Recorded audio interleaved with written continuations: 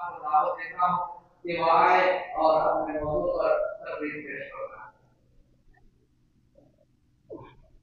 Allah.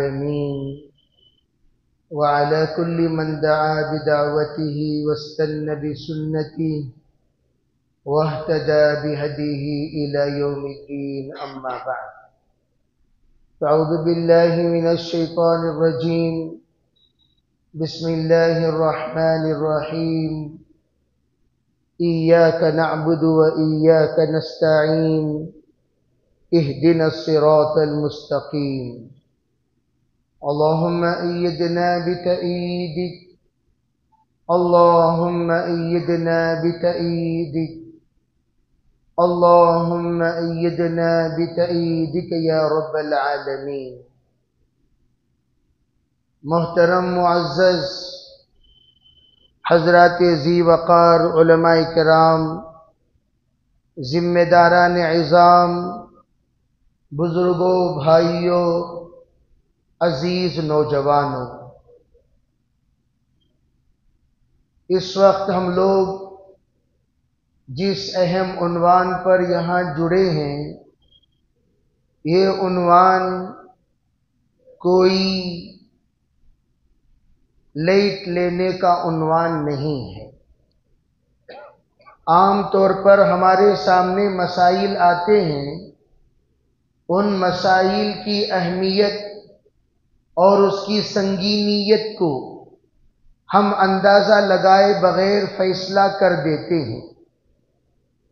आम तौर पर ये फैसले हमारे सही दानिस्ता ना होने की वजह से होता है। जो लोग इस मसले को जानते हैं, इस मसले के नतज से वाकिफ़ हैं, इस मसले को आगे चलकर क्या शक्ल दिया जाएगा और क्या इसके अंदर रूह फूकी जाएगी? किस तरह से इस मसले को रखकर हमें इस्तीसाल करने की कोशिश की जाएगी? इससे नावाकिफ होने की वजह से हम लोग बाज मरतबा इससे अब किनारा कश इख्तियार करना शुरू करते हैं। एक बात आपको मैं समझाना चाहता हूँ। ये कहे मुसलमान होने की आइडेंटिटी ये कहे इस्लाम की आइडेंटिटी दो आइडेंटिटी अलग अलग है। एक है मुसलमान होने की और ये कहे इस्लाम के होने की। मुसलमान होने पर तो हमला सी ए के ज़माने में हुआ। और वो इस बात की कोशिश की है कि हमारी आइडेंटिटी मुकम्मल तौर पर ख़त्म कर दी जाए। उस वक्त हम लोगों ने आवाज़ उठाई इतिहाद का मुजाहरा किया, एहतजाज किया, जो कुछ भी कार्रवाइयाँ उलमा के तरफ़ से की गई उसमें साथ दिए और बाकायदा अल्हम्दुलिल्लाह उसकी तरफ़ तवज्जो देकर किसी हद तक उसको हटाने की कोशिश किए, अब वो साकित है। और जब भी हम लोग खामोश होंगे, वो फिर दोबारा रूनुमा होने का अंदेशा है। और आसाम में, दीगर इलाकों में उस पर अमल करना लोगों ने शुरू कर दिया। आप जाइए, आसाम का दौरा कीजिए। दौरा करने पर आपको पता चलेगा, वहाँ के मुसलमान इसकी ये ये के वजह से एनआरसी की वजह से कितना परेशान है, उन पर कैसे कैसे हालात आ रहे हैं, वो हम यहाँ अंदाज़ा नहीं लगा सकते। ये जो उनवान है ये कहे इस मुसलमानों पर निशाना मिटाने की कोशिश। और ये इस्लाम की निशानी मिटाने की कोशिश। अब ये लोग हिंदुस्तान में जब देखते हैं, कदीम मसाजिद, कदीम खबरस्तान, कदीम ईदगाह, कदीम दरगाह, कदीम जितने मुसलमानों की निशानियाँ यहाँ मौजूद हैं, इन सब का ताल्लुक एक चीज़ से है। वो है वक्फ। वक्फ से इसका ताल्लुक है। वक्फ में तीन तरह की प्रॉपर्टियाँ हैं।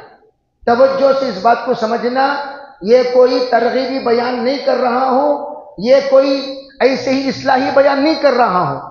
ये एहसास बेदार करने के लिए आपको समझाया जा रहा है। तो ये बात तो ये है कि हम लोग तीन तरह की बातें समझें। एक वक्फ बोर्ड।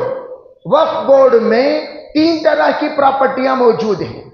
ये कदीम प्रॉपर्टियाँ जो मुगलिया सल्तनत के बादशाहों ने या दीगर राजा और महाराजाओं ने जो कुछ मुसलमानों को अता किया मस्जिद की शक्ल में खबरस्तान की शक्ल में, ईदगाह की शक्ल में, तालीमी दरसगाहों की शक्ल में, ये तमाम शक्लों में कदीम हमारी प्रॉपर्टियाँ मौजूद हैं। इस पर भी जमान अंग्रेज़ के ज़माने में नौ उन्नीस सौ तेरह में एक एक्ट बना उसकी सेफ्टी के लिए। और फिर उसी को मज़बूत बनाया गया 1936 में। तो उनको मज़बूत बनाकर वो तमाम कदीम जितनी प्रॉपर्टियाँ थी, उसको वक्फ बोर्ड में शामिल किया गया। वक्त के एतबार से शामिल किया गया। फिर उसके बाद जिस वक्त अंग्रेज़ों को यहाँ से भगाने का एक सिलसिला जारी हुआ जंग आज़ादी की शक्ल में, उस वक्त में भगाते भगाते भगाते मुकम्मल तौर पर हमारे बुज़ुर्गों को जो कामयाबी हासिल हुई, मुकम्मल साढ़े तीन सौ साल मेहनत के बाद, एक साल, दो साल नहीं, उन लोगों से बुलाकर पूछो आप लोग अंग्रेज़ को भगाने के लिए कितने साल मेहनत किए? उनके पास नौवत साल की तारीख है। तवज्जो से समझना। ओनली नाइन्टी ईयर्स नौवत साल की तारीख है। उसके अलावा और कोई तारीख नहीं है। लेकिन जब हमसे आप पूछेंगे, हम बताएँगे साढ़े तीन सौ साल की हमारी तारीख है। इसलिए कि मेरे अज़ीज़ भाइयों, आप लोगों को यह बात समझनी चाहिए मुसलमान हसास कौम है।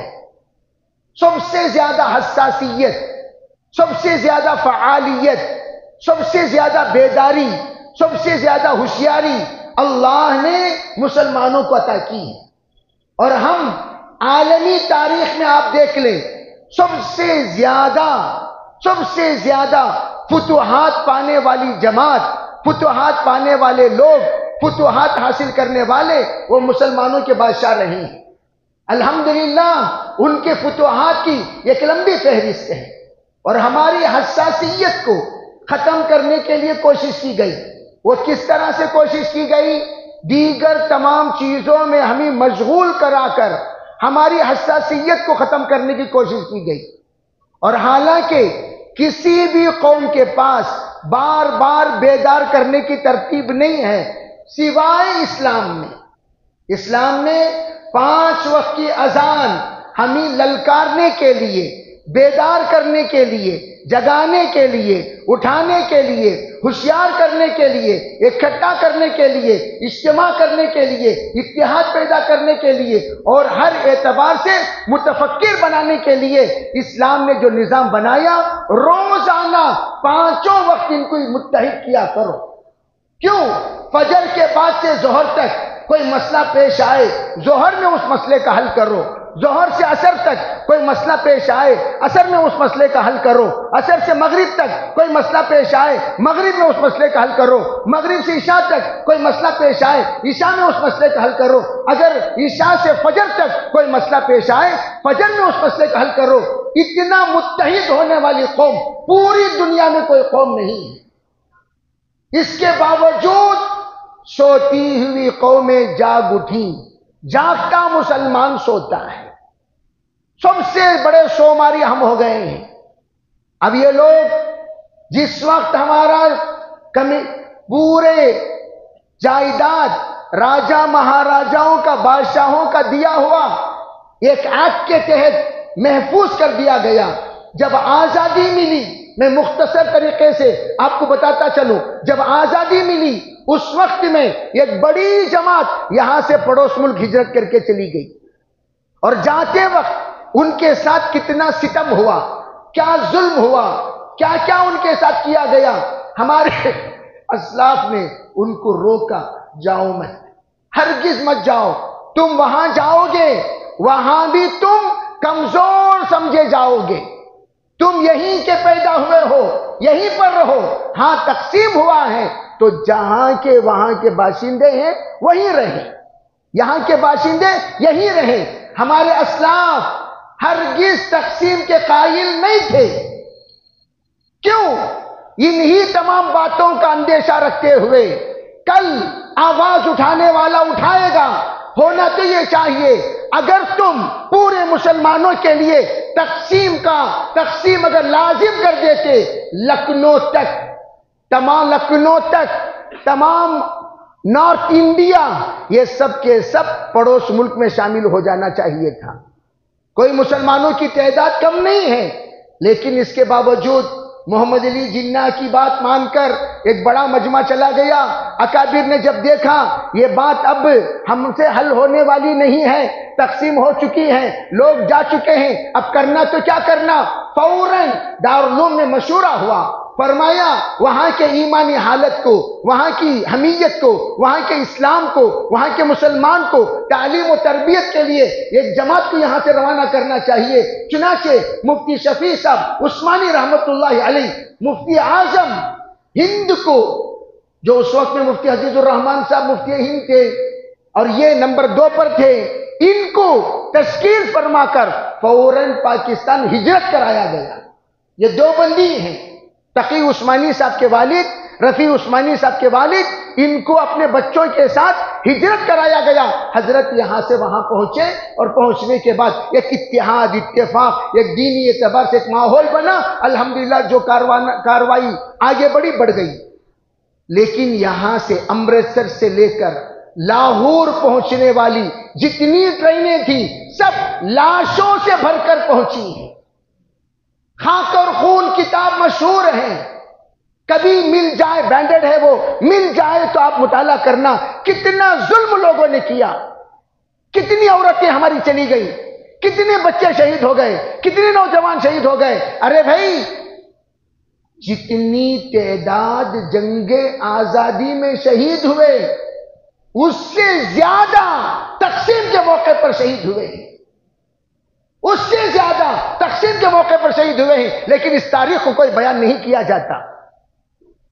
मेरे अज़ीज़ भाइयों, जब गए 1955 में, जिस वक्त सर्वे किया गया, जाने वाले मुहाजरीन की यहाँ पर औलादें, यहाँ पर रिश्तेदार, यहाँ पर मुतालिकीन यहाँ पर मुतवसलीन जिन्होंने उनके घरों को महफूज रखने वाले, सेफ्टी करने वाले, देखभाली करने वाले, उनकी प्रॉपर्टी के थे, उनको उनके हवाले कर दिया गया। और बहुत सारे वो थे 90 परसेंट, जिनका कोई वारिस यहाँ नहीं था। सब चले गए थे। तो क्या हुआ? तो उन 90 परसेंट लोगों की प्रॉपर्टीज़ को फिर दोबारा वक्त में शामिल किया गया। 90 परसेंट, ये अतिया। नंबर दो मतरू का तरका, जो छोड़कर चले गए थे वो लोग, उसको भी वक्त में शामिल कर दिया गया। दो नंबर तीन, मुसलमानों ने जो वक्त किया, अपने एतबार से, जो यहाँ के बाशिंदे हैं, मस्जिद वक्त किए, मदरसा वक्त किए, ज़मीन वक्त किए, ईदगाह वक्त किए, खबरस्तान वक्त किए, इसके एक लंबी फहरिस्त, ये तीन तरह के अवकाफ की प्रॉपर्टियाँ मुसलमानों के पास मौजूद हैं।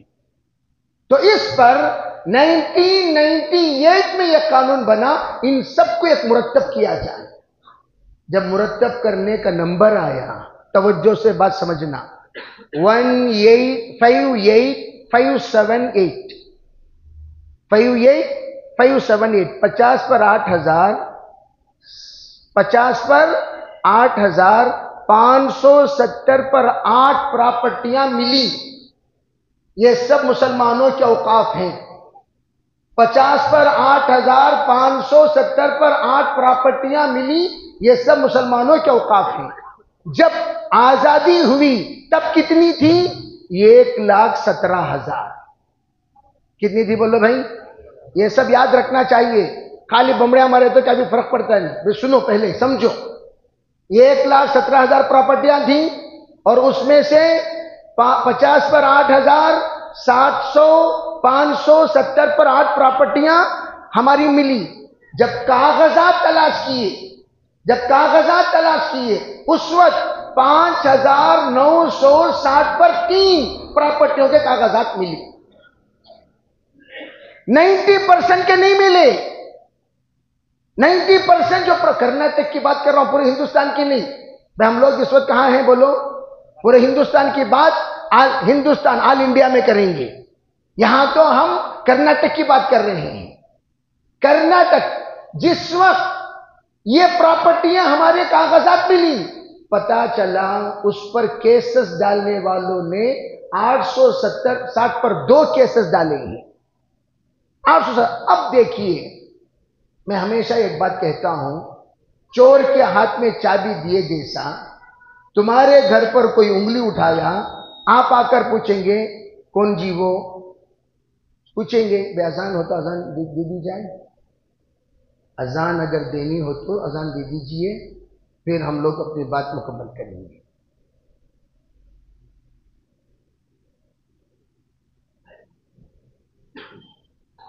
मेरे बगैर मैं के ज़रा करीब तशरीफ़ लाएँ।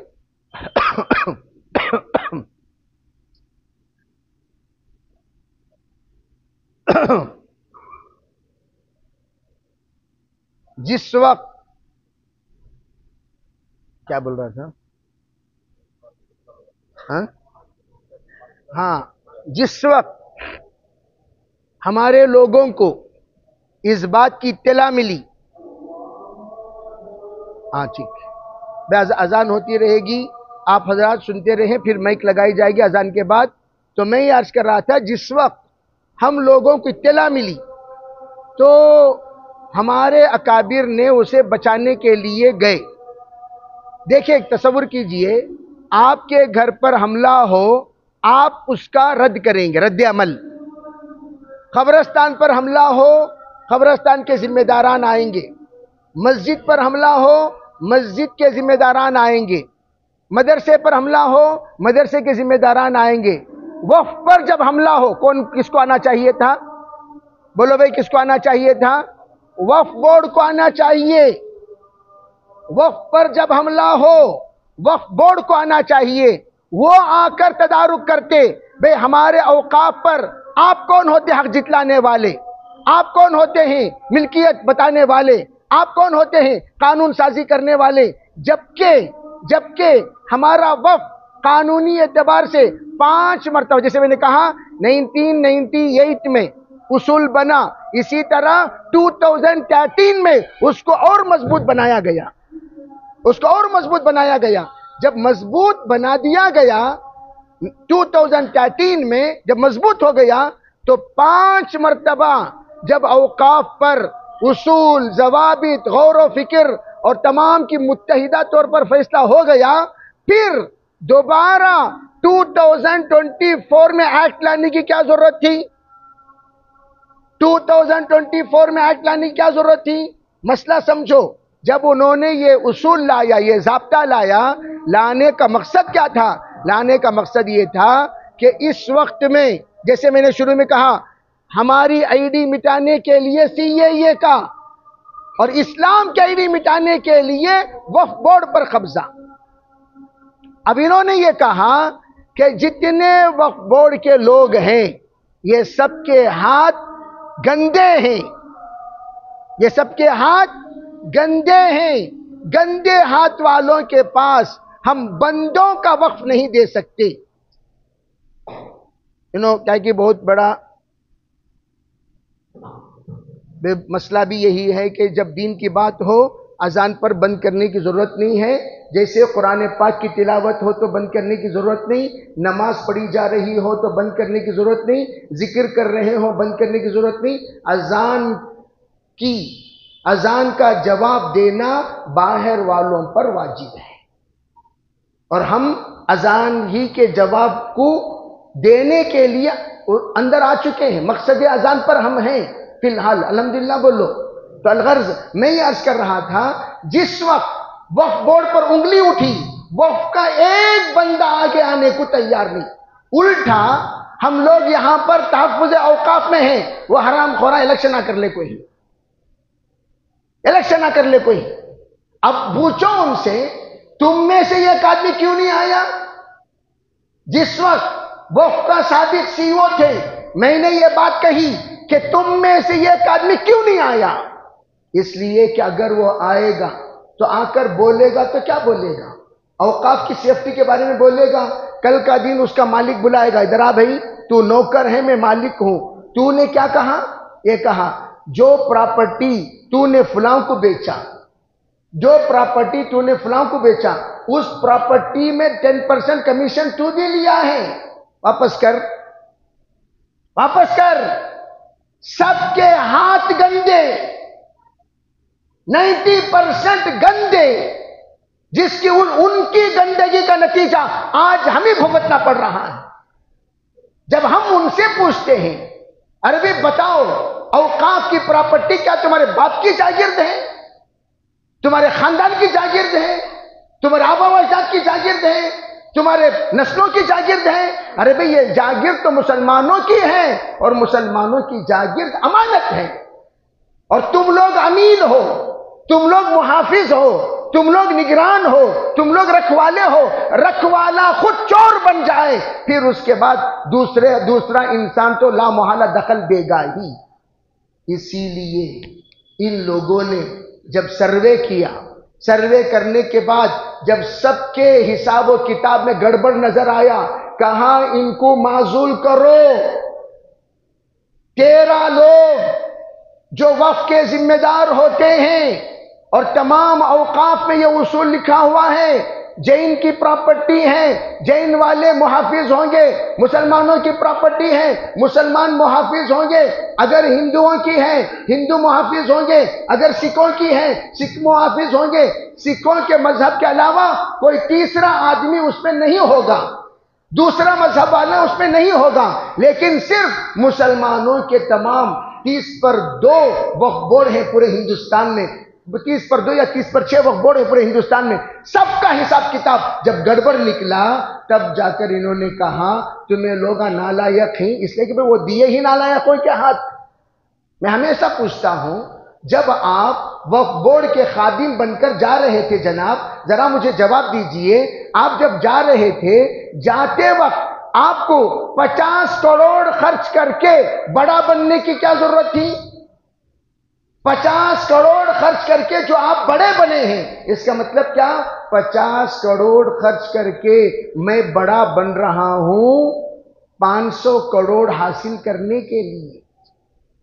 साफ़ साफ़ बात है ना भाई?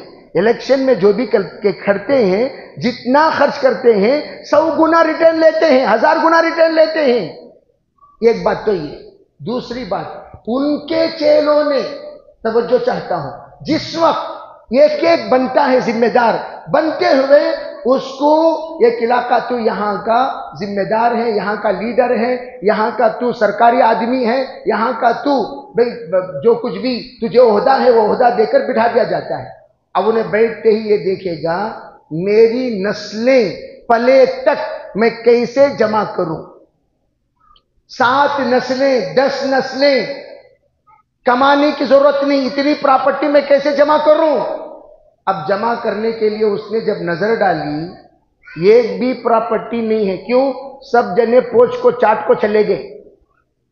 आज़ादी के बाद जितना मरहला 75 इयर्स के ऊपर का जो गुजरा है, इतने जितने सरकारी लोग आए, सब सब फिनिश कर दिए। फिनिश करने के बाद उन्होंने देखा, अब हाथ डालें तो कहाँ डालें? डिफेंस पर। हाथ डालेंगे, हमारी नस्लें तबाह हो जाएँगी। नंबर एक, रेलवे पर हाथ डालेंगे, हमारा खानदान खत्म हो जाएगा। और हमारे ऊपर हज़ारों केसेस डालेंगे। तीसरे नंबर पर अफवाह उड़ा दिया। खाम खा औकाफ की प्रॉपर्टियाँ हैं। तीसरे नंबर पर औकाफ की प्रॉपर्टियाँ हैं। तीसरे नंबर पर औकाफ की प्रॉपर्टियाँ हैं। तीसरे नंबर पर ये बिल्कुल गलत। हिंदुस्तान में तीन मंदिरें वो हैं। तवज्जो। हिंदुस्तान में तीन मंदिरें वो हैं, जिन मंदिरों के पास पूरे हिंदुस्तान की औकाफ की जितनी प्रॉपर्टी है, उससे ज़्यादा है। उससे ज़्यादा है। सिर्फ़ तीन मंदिरों के पास। अब उसको तो छेड़ने को कोई तैयार नहीं। उसको तो बोलने कोई तैयार नहीं। उसको तो हम चढ़ भी नहीं सकते। क्यों? हर के ऊपर एक नाग बैठा हुआ है। वो पाँच सर का नाग देख के रहेंगे ना आप लोग? पाँच सर, सात सर, नाग बैठ कोई नहीं, कोई नो अच्छे यूँ प्रॉपर्टी की हिफाजत कर बैठे रहती है अब उसमें जाकर कुछ भी नहीं कर सकते। अब करें तो क्या करें? सबसे ज़्यादा मासूम लोग कौन है बोलो? हुँ? हम्म? आओ को तो आते नहीं, जाओ को तो जाते नहीं, बैठे को तो बैठते नहीं। खुजली उनको। हमेशा अपनी ज़रूरत है जाबा चापी लगाएँगे, अरे आबा पान खा लगाएँगे। ये सब जो हरकत जो कर रही ना हमें, इसे, ये हरकत खत्म करने के वास्ते चाहे हैं सो मौलाना सज्जाद साहब मध्य जिल्लो एक बात कहने लगे, अरे भाई, इस वक्त ये लोग जो आ रहे हैं, और ये डॉक्यूमेंट्री है 2014 से 2024 तक पूरे हिंदुस्तान में 116 हंगामे हुए हैं। 116 दंगे फसाद 116 लड़ाइयाँ 116 इल्ज़ाम अगर तुम गौर करो हर चार महीने को एक परेशानी हर चार महीने को एक परेशानी हर, चार महीने को एक परेशानी। क्या मुसीबत हो गई है भाई? अब यहाँ जो परेशानी है, ये कोई मामूली परेशानी नहीं। ये जैसे मैंने बताया, हिंदुस्तान में इस्लाम पुराना है, क्या दलील? तो आप जाकर बताएँगे खबरस्तानों को, आप जाकर बताएँगे दरगाहों को, आप जाकर बताएँगे मस्जिदों को। देख लो केरला की वो मस्जिद, एक हज़ार चार सौ साल पुरानी तो देख लो वहाँ की मस्जिद एक हज़ार दो सौ साल पुरानी, देख लो यहाँ की मस्जिद, एक हज़ार एक सौ साल पुरानी, देख लो वो दरगाह आठ सौ साल पुराना और एक दरगाह देख लो सात सौ साल पुराना। अरे भी ये सब पेश करेंगे कि नहीं करेंगे? हम हम अपनी हुज्जत, हम अपनी दलील, हम अपनी बात जो ठोस के साथ पेश करेंगे, वो तमाम इमारतों को वफ की प्रॉपर्टियों को बताकर। इन लोगों ने ये सोचा ये चीज़ रहे तो ना तुम्हें लोग उंगलियाँ दिखाती इसको जिस तरह बाबरी मस्जिद पर एक बार हमला करके देख लिया, ज़्यादा दम दरूद इनके अंदर नहीं है। इन्हों जरे दिना जाने के बाद भूल जाएँगे नसिया मनसिया हो जाएगा। सिक्स दिसंबर को इनके ख्वाब ख्याल में भी वो बातें नहीं रहेंगी। इसी तरह दूसरी मस्जिद पर हमला किया, अब तीसरी मस्जिद पर हमला कर रहे हैं, संभल की जामिया मस्जिद। आपको ये बात बता दूँ, जब ये कानून पास हो जाएगा, पास होने के बाद प्राइवेट प्रॉपर्टियाँ भी वक्त में आपको शामिल करना पड़ेगा। और वहाँ चालीस उसूलें उन लोगों ने कानून में इजाफा किया। चालीस में चौदह डेंजरस हैं, चौदह में तीन वेरी वेरी वेरी डेंजरस वो तीन मैं आपके सामने बयान करना चाहता हूँ। नंबर एक वफ बोर्ड की कमेटी में सिर्फ़ तीन मुसलमान होंगे। उसके अलावा सब जिसको हुकूमत सरकारी, सरकार तय करे, वो वो वो जिम्मेदार रहेगा। तीन मुसलमान होंगे। हालाँकि तरतीब क्या? एक एमपी हो, एक एमएलए हो या एमएलसी हो, दो औरतें हो, दो मौलवी हो, एक शिया का, एक सुन्नी का और बकिया जो मेंबर होंगे साथ, वो सब के सब इलेक्शन से आएँगे। ये तरतीब है। उस तरतीब में क्या किया? सिर्फ़ तीन मुसलमान होंगे, बकिया सब गैर होंगे। और वो गैर कौन? मस्जिद का जिम्मेदार। उन गैरों में किसी एक को कहा जाएगा, पूरे कर्नाटक के मस्जिद के जिम्मेदार तुम्हें, पूरे कर्नाटक के खबरस्तान के जिम्मेदार तुम्हें, पूरे कर्नाटक के दरगाहों के जिम्मेदार तुम्हें, पूरे कर्नाटक के, इनका तुम्हें, उनका तुम्हें, ये सब ये। अब ये लोग आकर मस्जिद का सर्वे करेंगे। ये कहीं कोई ऐसा वो कहीं कोई ऐसा जब वो आएँगे, तुम्हारी कमिटी भी नहीं रहेगी। तुम्हें लोग कौन भी सदर, सब बिस्तर बिस्तर खाली करो यहाँ से। कौन भी वक्त सदर भी नहीं सेक्रेटरी भी नहीं बदर भी नहीं, हजर भी नहीं, निकलो यहाँ से। सबको निकाल देंगे। निकाल कर अपना मोतमद अल इंसान को तय करेंगे। मस्जिदों में, मैं ये बात एक हफ़्ता पहले, पंद्रह दिन पहले बताया, फ़ौरन जो मैंने बताया बिहमदिल्ला ताला, उस, उसी बात को छत्तीस, छत्तीसगढ़ छत्तीसगढ़ का फैसला मैं आपको सुना देता हूँ। फैसला क्या होगा? मस्जिद में हमारी इजाज़त के बगैर खुतबा देने की इजाज़त नहीं है। ये कौन? अखियार चुनाचे वफ बोर्ड का नाम निहाद मुसलमान, उसका नाम सलीम। नाम निहाद मुसलमान। उसने क्या फैसला सुनाया वक्फ बोर्ड की तरफ़ से? सलीम राज। उनका चेला आ, उनका मैं जैसे कहा नहीं उन्हें बड़ा चोर को तो नहीं छोटा चोर। छोटे चोरा एक जने भी आते नहीं। एक जना भी नहीं आता। क्या उसने फैसला सुनाया? सुनो। छत्तीसगढ़ में अइम्मा को खुतबा से कबल इजाज़त लेने का हुक्म। ये कब की बात बोल रहा हूँ? कब की बात बोल रहा हूँ? भाई पीर का दिन, पीर कब गुजरा? 18 नवंबर 2024 18 नवंबर 2024 का फैसला सुनो। वक्फ बोर्ड का नाम निहाद मुसलमान ने क्या कहा? मुसलमान अपनी मस्जिद में खुतबा, जो खुतबा देंगे, वो इजाज़त लेकर देंगे। नंबर दो, रियासत के वक्फ बोर्ड का इंतहाई खतरनाक, गैर आईनी कानून अइम्मा को बीजेपी हुकूमत की शान में कसीदा पढ़ने की हिदायत। बीजेपी हुकूमत की शान में कसीदा पढ़ने की हिदायत। हुक्म पर अमल ना करने वाले अइम्मा के खिलाफ एफ़ आई आर की धमकी। ये कब की बात बोल रहा हूँ? ये अभी बिल पास नहीं हुई। बिल पास होने से पहले यह नतीजा। अगर बिल पास हो जाए तो अल्लाह हम सबकी हिफाजत फरमाए, मसाजिद हमारी नहीं रही खानखाहें हमारी नहीं, खबरस्तान हमारे नहीं, ईदगाह हमारे नहीं, अल्लाह ना करे, अल्लाह ना करे। कोई भी मुसलमान की प्रॉपर्टी पर हमारा कोई हक नहीं रहेगा।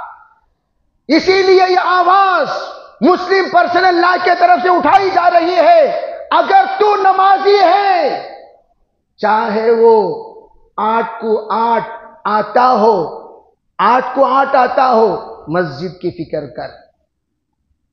अगर तू नमाजी है, मस्जिद की फ़िक्र, नहीं, हज़रत, मैं जुम्मा को आता नहीं, ईद को चाहता सो।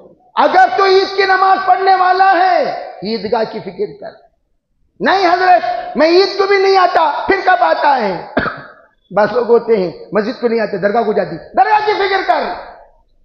नहीं नहीं वो भी नहीं आता। तो उससे यूँ कहा जा रहा है तो फिर मरकर तो खबरस्तान को जाएगा।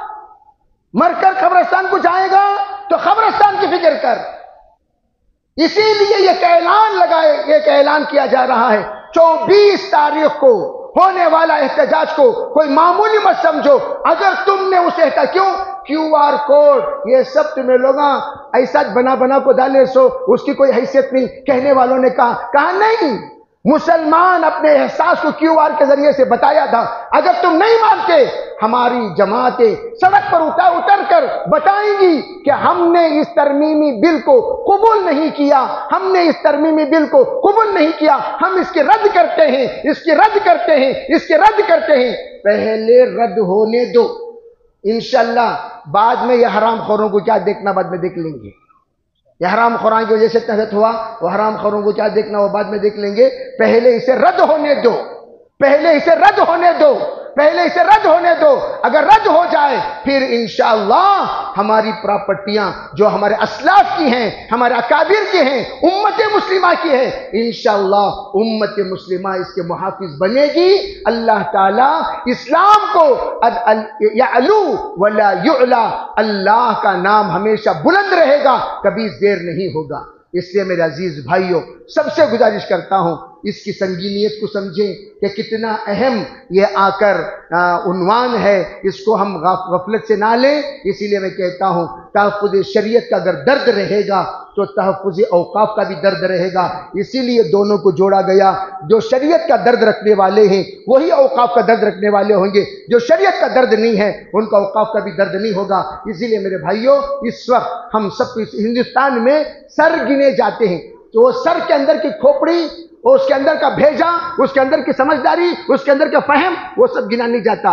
पागला वोट दिए तो भी एक किच दानिश्वर वोट दिए तो भी एक किच पेशेंट वोट दिए तो भी एक किच डॉक्टर वोट दिए तो भी एक किच मुलाजिम वोट दिए तो भी एक किच उसका यजमान, मालिक वोट दिए तो भी एक किच एक नंबर, एक ही शुमार किया जाएगा। और वो लोग क्या चाहते हैं? हम ना दानिश्वर हम हमारे समय दानिश्वर समझदार लोग समझदार पार्टी को वोट दे रहे हैं। वो लोग क्या कहते हैं? हमारे पास पागला ही। अकलमंदा की ज़रूरत नहीं। क्यों? हमारे पास गिनती का शुमार है। समझदारों का शुमार नहीं है। वैसे पागलों की जमात उनके पास पड़ी हुई है। उसी बुनियाद पर वो जीत रहे हैं। अकलमंदों की वजह से नहीं। अगर तुम दुनिया को, हिंदुस्तान को खड़ा कर लो, पूछो वो मुजरिमो तुम अलग हो जाओ। ए समझदार हो तुम अलग हो जाओ। मुखालफत करने वाले तुम अलग हो जाओ। ताइज करने वाले तुम अलग हो जाओ। जो लोग उनकी मुखालफत करने वाले हैं, वो सेवेंटी परसेंट है। जो लोग उनको साथ देने वाले, वो थर्टी परसेंट है। इसलिए मैं अर्ज़ करना चाहता हूँ, यहाँ किसे गिना जाता है? सर। यहाँ सर। और सर भी वो शुमार होगा जो टोपी के साथ होगा। बगैर टोपी का सर इन्हें कौन मीडिया वाला रहेगा? इन्हें कौन भी समोसा बेचने वाला रहेगा, इन्हें कौन भी पानी पुनी वाला रहेगा, इन्हें कौन भी सर्वे करने वाला रहेगा, ऐसा समझ जाती, टोपी के साथ सर लाएँगे इनशाला भाई। अरे लाओगे इनशाला कहाँ लाना? खुद सबको तो खबरस्तान चले आने जी खुदुस्ता को तो खबरस्तान नहीं, कहाँ आना बोलिए जनाब? खादरिया को आना है और वहाँ की कैपेसिटी डेढ़ लाख की छः सौ। यहाँ से लेकर मेकरी सर्कल तक, इधर से लेकर अलसुर तक, दाएँ बाएँ, आगे पीछे, सब जगहों को ब्लॉक करके बाकायदा वहाँ पर हमारे लिए बैठने का नज़म बनाया जाएगा। आप लोग हसीरा हसीर साथ ले लें, मुसल्ला साथ ले लें, पानी साथ ले लें और आपके लिए ग्लूकोज वगैरह हो तो साथ ले लें। अगर कोई पेशेंट है उसे क्या कहते हैं शुगर वो लोग अपना बिस्किट साथ ले लें। हाँ वहाँ आकर दुकान लेना भाई दुकान खोलने को क्या क्या मेला क्या जी वो? मेला क्या वो? आ रहे हैं वज़ू खाली, असर से मगरिब तक बचाने के नीयत से आओ। फुल खा ले पाए तो वज़ू टिकता नहीं। तोड़ लग निकल जाता वज़ू।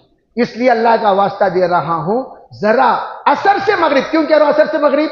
बे असर को जलसा शुरू होगा, मगरिब में एक नमाज़ पढ़ी जाएगी। ये दो वक्त में तुम्हें वज़ू अगर टिका लिए ईशा तुम्हें घर में भी आपको पढ़ ले सकती इंशाला ठीक है भाई? ईशा तुम्हें घर में भी आकर पढ़ ले सकते हो, कोई मसला नहीं। वज़ू का वहाँ पर इस्तेमाल की तरह इंतज़ाम सब नहीं रहेगा। इसलिए मैं अर्ज़ करना चाहता हूँ, बाटल आप ले लें पानी अपने साथ, पार्किंग आपको दूर करानी होगी। वो इसका सब इंशाल्लाह आप लोगों की तरह मिल जाएगी। दूर खड़ा करके पैदल आइए। अल्लाह से ये कहते हुए आइए, या अल्लाह, जो कदम हम बढ़ा रहे हैं, इस कदम को तो पार्लियामेंट तक पहुँचा दे, इस आवाज़ को पार्लियामेंट तक पहुँचा दे। मुस्लिम पर्सन अल्लाह वालों ने कर्नाटक का इंतखाब इसीलिए किया कि जिस वक्त अंग्रेज़ आया, सबसे पहला नारा टीपू सुल्तान ने यहाँ से लगाया था।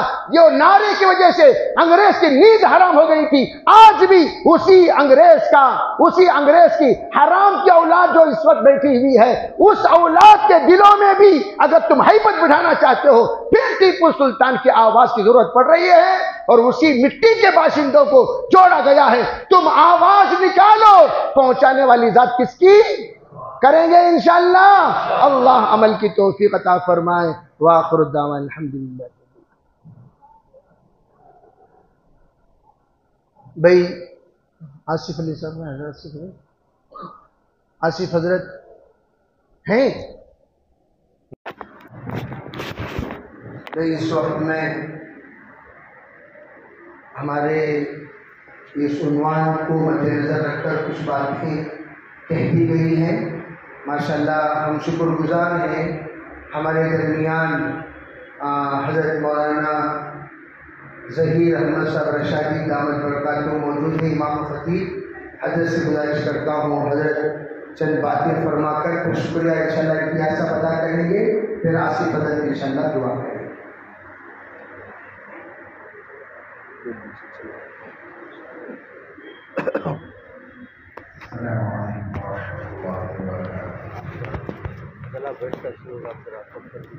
Jadi,